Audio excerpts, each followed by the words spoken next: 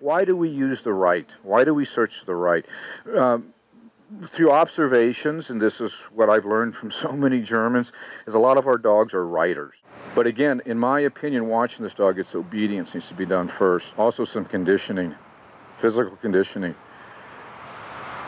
There we go. Good work, brother. That's how to do it. Good. Keep going. Good. Keep going. Excellent. Good. What we need to do, truly, what we need to do here is have that tooth where he does not know at all. Okay? That's what we really, that's the mistake we made right now.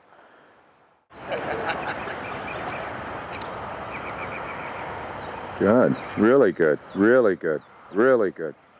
Very good. Very, you see, this dog really understands his job. He knows when his handler is telling him to search. No, very, very good work. Ah, super. Super. Super, Patrick. Super. No, it's excellent. His work is excellent.